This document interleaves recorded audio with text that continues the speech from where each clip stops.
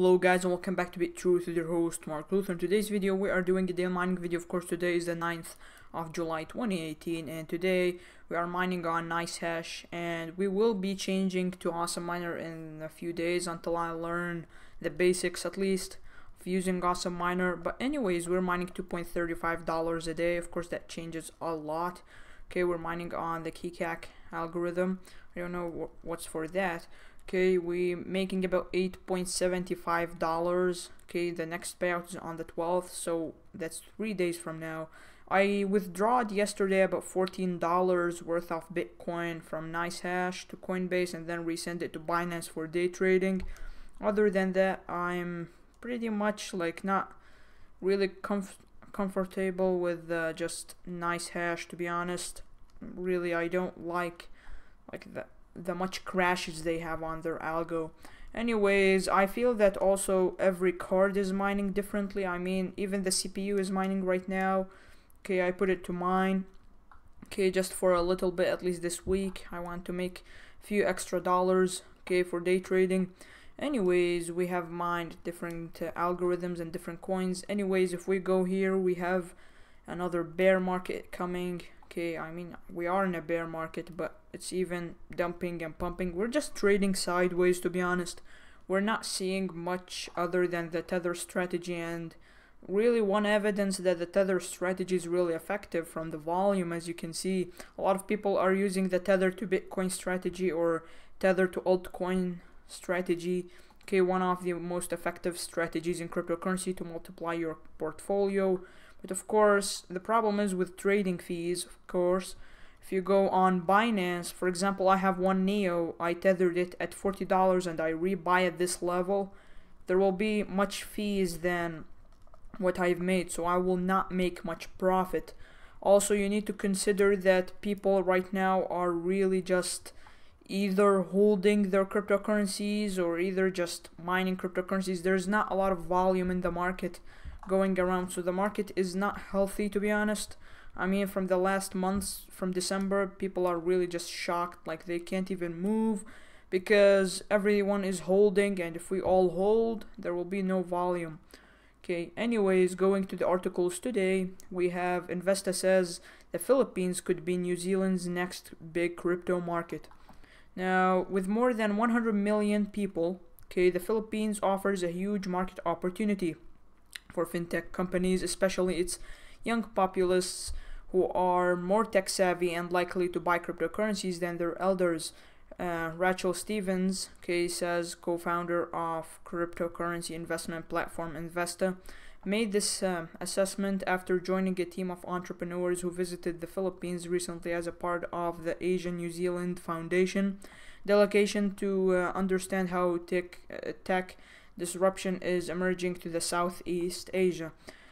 Okay, so the biggest revelation for me was the Philippines has an enormous potential market for financial services.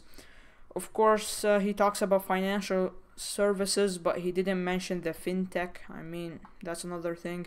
On the top, he talks about fintech. On top of this, the population is tech savvy and very young, with a median age of just 23 so they have a lot of millennials and teenagers. Millennials are eight times more likely to buy bitcoin than baby boomers so it's an incredibly large and attractive market for us. Now let me just say something. Now i'm an affiliate marketer okay? I understand this stuff. They say as if the people from philippines will invest in cryptocurrencies.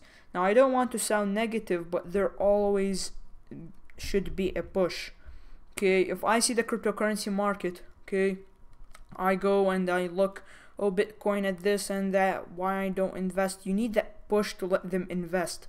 You know when you affiliate market for example you advertise a link not all people click the link of course maybe less than 20% depending on how good the ad is but of course, if you know how to get these clicks, you will generate more revenue. So think about this as affiliate marketing. It's the same. You just need the push to the people to invest.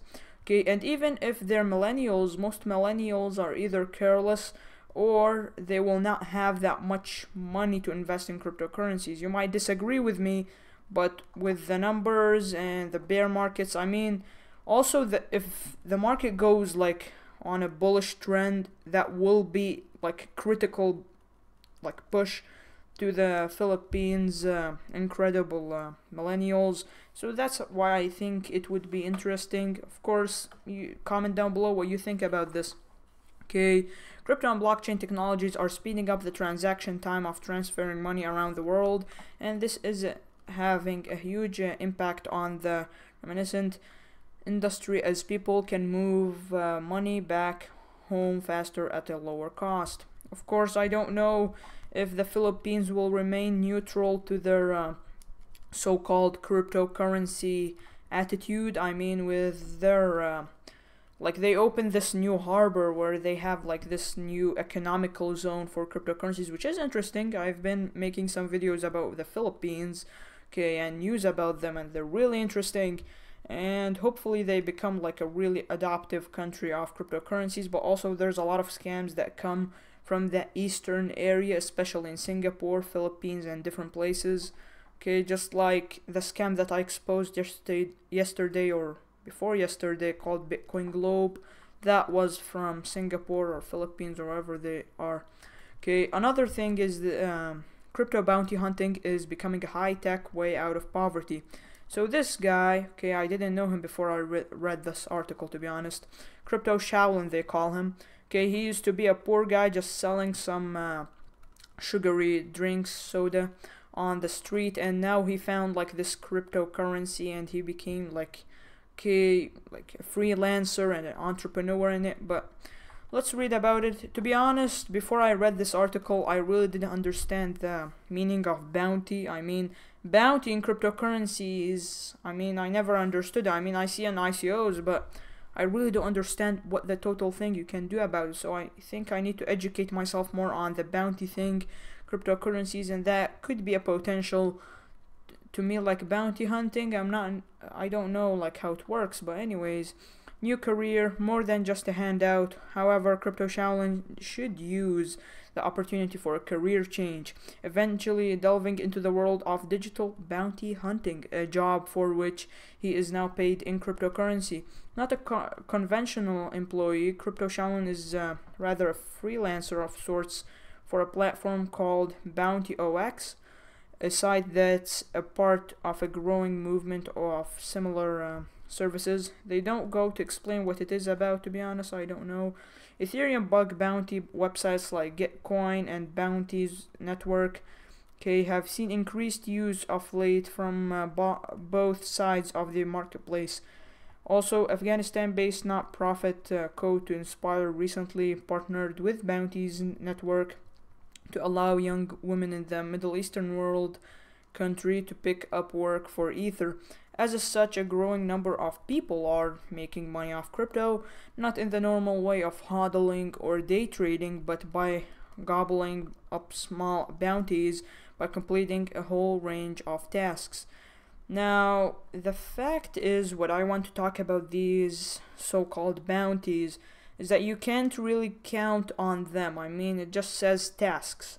Okay, some of them, like, say, like Ethereum bug bounty, okay? So really you need to have some level of skill, okay, to actually indulge in these uh, bounties and this type of business. But I'd rather just like day trading and using other softwares, okay, and hodling.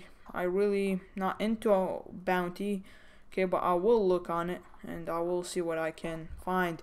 So thank you guys for watching this video from BitTruth with your host Mark Luther. And I know that we are still in a bear market. This is like literally the seventh month in a row like in a bear market. We have been just falling and falling and there's even articles saying that we're not going up again. But I don't believe that we're going to stay in this much longer I mean in a like in an extended period of time. I'm not saying about tomorrow or a month from now.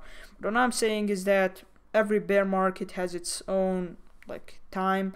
Okay, we just need to wait it out. Day trade some something. Use the so-called tether strategy and I have some notifications on Discord so thank you guys for watching and see you guys on the next video